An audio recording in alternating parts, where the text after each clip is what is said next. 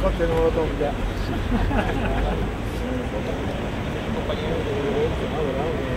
Así se hace un poquito más. Ya sa- ya sa-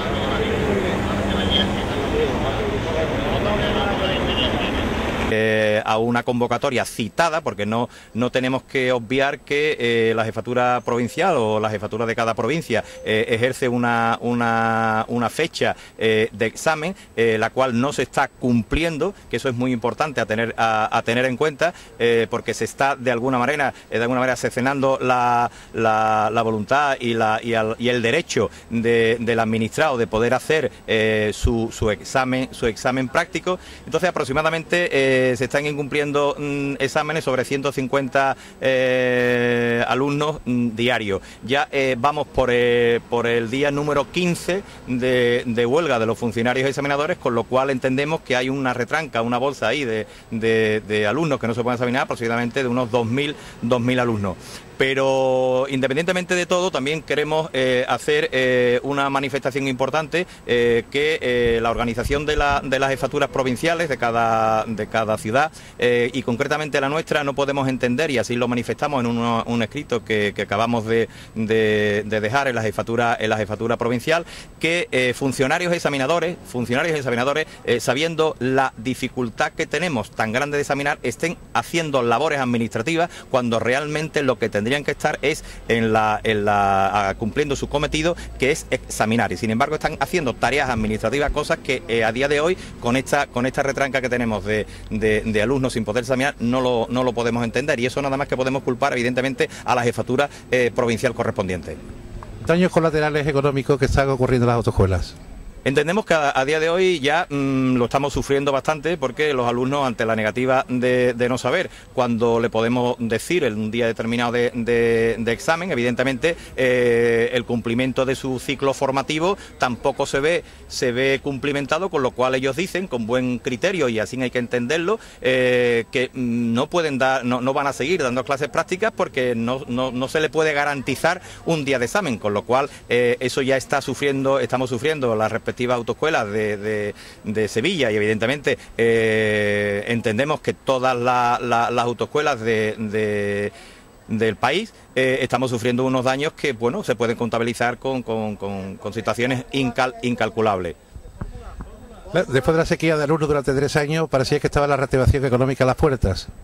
Bueno, eh, eso es otra. Es decir, no- nosotros ahora mismo que parecía que estábamos reconduciendo nuestra crisis que hemos padecido desde, desde el año 2008, llevamos una crisis importante, ahora parecía que, que se iba reconduciendo la, la- la situación y eh, nuevamente pues vo- volvemos a tener ese, ese, ese retraso eh, y esa situación de, de- de carácter mm, eh, incomprensible que eso nos va, nos va a costar remontar esta, esta tremenda, esta tremenda crisis no, eh, no entendida eh, que estamos que estamos sufriendo la- la- las autoescuelas de, Sevilla y vuelvo y vuelvo a decir del resto de España. Esto se desvincula un poco de las asociaciones para que sea una plataforma de forma genérica a todos los pequeños empresarios que mantienen las autoescuelas abiertas. Bueno, no queremos, no queremos centralizar eh, en ningún momento que esto sea una situación que eh, la represente ninguna, ninguna entidad concreta. Nosotros representamos a AREA, una asociación de, de, autoescuelas, pero esto entiendo que es un problema colectivo que afecta a todas, a todas la- las autoescuelas de Sevilla Provincia y nosotros eh, con nuestra plataforma de disconformidad entendemos que tenemos que ser representados por todas y cada una de las autoescuelas afectadas de Sevilla Provincia. Muchas gracias. Gracias a vosotros. en su provincia y que la gente no se está movilizando. Pienso que todos tenemos alumnos, que todos somos afectados y que este problema no es de unos cuantos, sino que es de todos nosotros, que no se lo podemos achacar solamente al colectivo de examinadores que se está protestando, porque ellos están en su derecho de protestar. Pienso que nosotros, los empresarios de autoescuelas y los dueños de autoescuelas, debemos también de hacer nuestras protestas. Y no se trata ya de, de apoyar o dejar de apoyar a los examinadores, que ellos están haciendo sus protestas, sino se trata ya también de velar por los intereses de nuestros alumnos. Y pienso que todos somos afectados, que no se trata nada más de cuatro autoescuelas. Yo le pregunto que si había tensiones también de los alumnos presionando a las autoescuelas para que el examen sea de forma inmediata cuando es casi imposible. Sí, sé que algunos compañeros han tenido problemas. Yo, afortunadamente, hasta ahora no he tenido problemas con mis alumnos. Ellos lo han entendido perfectamente. De hecho, tengo alumnos que no están en Sevilla, que están fuera de la, de la provincia de Sevilla estudiando.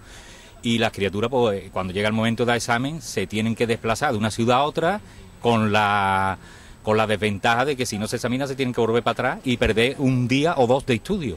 Incluso alumnos que están trabajando y tienen que perder un día de trabajo sin poderse examinar. Pues muchísimas gracias, yo lo Nada, ustedes. Antonio, soy José Colichero y vengo desde Villamanrique.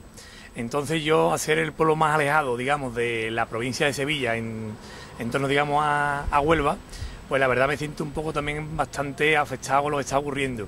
Porque como bien ha dicho el compañero anterior, pues claro, los alumnos, pues mm, vamos a dar clases, nos vamos a preparar, una dinámica todos los días de, de clase y buscar horas porque están todos estudiando mayormente en Sevilla y en Huelva, porque tengo muchos alumnos que también vienen de Huelva, y nos encontramos pues que llegamos a los exámenes y ahora el examinador nos dice pues son las 12 de la mañana, que es cuando ellos tienen convocada su huelga, y nos dejan sin examinar.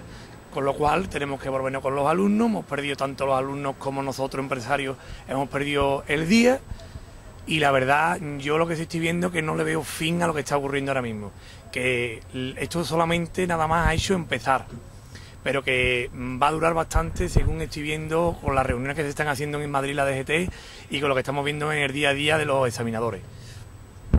Pues muchísimas gracias, señor Cochero. Hasta otro día. Muchísimas gracias a vosotros y sigamos peleando por lo que nos afecta. Gracias.